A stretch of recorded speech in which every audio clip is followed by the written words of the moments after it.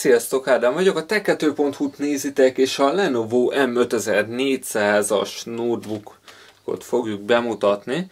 Itt látható már maga a készülék, már kicsomagoltuk. A doboz tartalmát, hogy átfussuk, van egy gyors használati útmutató, illetve összeszerelési útmutató a dobozban. Kapunk egy hagyományos 3 pines távkábelt a töltőhöz, itt van külön maga a töltőadapter, ami egy egészen nagy méretű egység igazából. 90 wattos egyébként, tehát eléggé nagy teljesítményű, nem véletlen ez egyébként. Valamint megint csak külön, de itt van az akkumulátor is, ami belekerül majd a notebookba. Ha ránézzünk az adatokra, ez egy 48 wattórás akkumulátor, illetve nem fog kiállni a készülék házból, majd ezt mindjárt meglátjuk.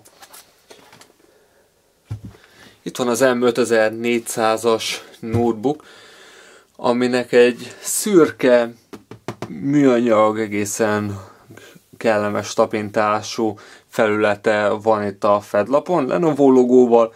Ez egy üzleti notebook, bár nem ThinkPad ennek ellenére ugyanúgy az üzleti széria egyik tagja. Nyilván nem annyira drága, mint egy ThinkPad, illetve nem is kifejezetten ipari munkára van, de tényleg üzleti felszereltséggel, illetve kínálattal rendelkezik. Itt a gép oldalára, hogyha ránézünk, van egy Kensington lokunk a bal oldal, egy hűtőnyílásunk, egy normál D-szab, azaz végig a csatlakozónk, gigabites RJ45-ünk, van HDMI-nk, illetve kettő darab USB 3.0 csatlakozónk. A gép elején itt található egy normál méretű SD kártyaszlot, illetve itt helyezkednek el visszajelzőledek.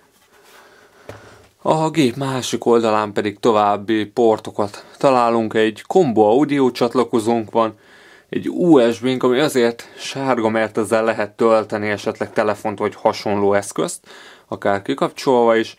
Itt van a DVD szlotunk, illetve itt a töltő csatlakozó,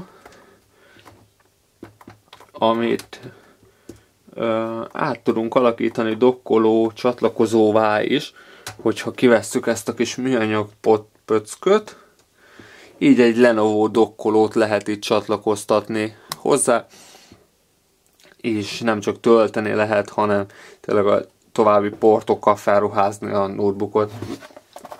Ha ránézzünk a gép aljára, láthatjuk van egy nagyobb méretű lemezünk, amit le tudunk venni, ez alatt van a merev lemez memória is többek közt, illetve itt van az akkumulátor helye, ahova egyszerűen igazából csak becsúsztatjuk a 48 wattórás akkumulátort Oldalról megnézve látható, hogy a gép azért nem a legvékonyabb, hiszen a fedlap is egészen vaskos, tehát itt látható, hogy nem kifejezetten egy ultrabook közelék készülékről beszélünk.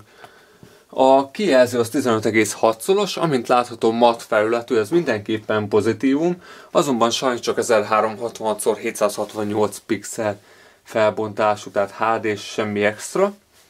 Belül egy mat műanyag keretünk van, van természetesen webkameránk, amint itt látszik, illetve kettő mikrofon.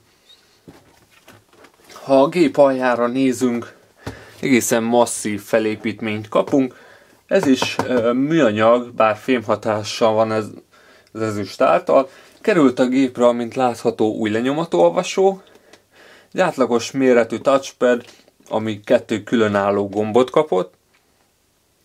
Itt az AcuType billentyűzet, amit megszokhattunk a Lenovo-tól, és sajnos ez nem rendelkezik billentyűzet háttérvilágítással. Mondhatni semmi extra igazából. Kapunk egy hagyományos numerikus kiosztást, stereo hangszóróink vannak, amik itt találhatóak meg a kijelző alatt, illetve itt van a bekapcsoló gombunk. Itt látható, hogy egészen sok kisebb extra van a Lenovo notebookjában, mint a Lenovo Solution Center Digital Array mikrofon, illetve hát egy Thinner Design, ami azt jelenti, hogy elvileg vékonyabb, hát az annyira nem teljesül. Illetve itt, ahogy a címke is jelzi, Nvidia grafikus kártya van benne, valamint Core i5-ös processzor, ebben éppen egy i5 4200-as egység.